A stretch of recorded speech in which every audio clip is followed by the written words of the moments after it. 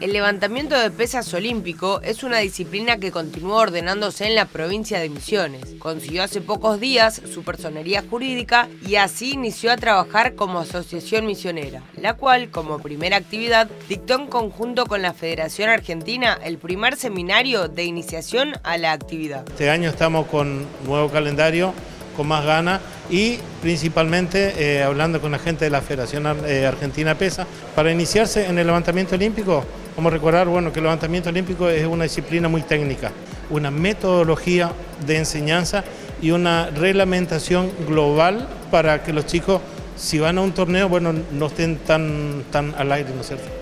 El curso, teórico y práctico, fue dictado por Gustavo Majauskas, múltiple campeón con la selección argentina y actual miembro de la Federación Nacional, quien destacó la importancia de los seminarios y apoyó con ilusión los primeros pasos en la Tierra Colorada.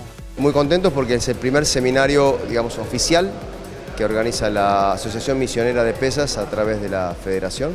Realmente yo pongo una ficha muy grande por por la iniciativa. Eh, creo que Misiones tiene mucho potencial y en, la medida en que los entrenadores tengan eh, conocimientos y se, y se especialicen cada vez más, van a poder sacar mejores atletas y lograr más centros de desarrollo especializados.